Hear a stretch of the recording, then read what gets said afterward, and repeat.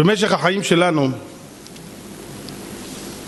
אדם במשך ימי חייו, כל הזמן משחקות לנו בראש כל מיני ספקולציות, מחשבות. אם אני אעשה ככה, ואם אני אעשה ככה. אדם יש לו איזו מחשבה שהוא חושב שהוא מנהל את העולם והוא חושב שאם הוא יעשה דברים לפי מחשבתו ולא לפי מה שהתורה מצווה אותו אז הוא ירוויח כך זה נראה מה שנקרא ממבט ראשון. אבל האדם יראה לעיניים והשם יראה ללבב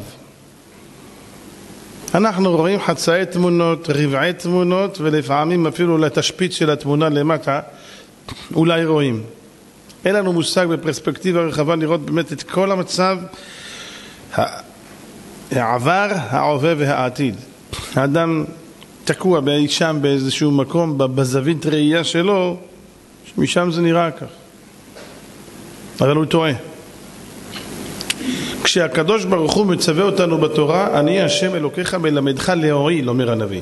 זאת אומרת שהקדוש ברוך הוא מצווה אותנו, הכל זה דרך של הצלחה מובטחת. וגם אם זה לא נראה ברגע הראשון, או אפילו ברגע השני והרגע השלישי, אבל דע לך, זה הכל לטובתך. כל סטייה, כל שינוי ממה שהשם ציווה, כישלון מובטח. לא חייב להיות ברגעים הראשונים, זה יכול להיות גם אחרי 20, 30 ו-40 שנה הכישלון יתבטא במציאות. אנחנו שופטים דברים לפי מבט ראייה של רגע, זה האדם, יראה לעיניים, מה אני רואה, אין לשעודה אין מה שנברו, זה מה שהוא יודע. אבל הקדוש ברוך הוא שהוא צופה הדורות מראש, הוא יודע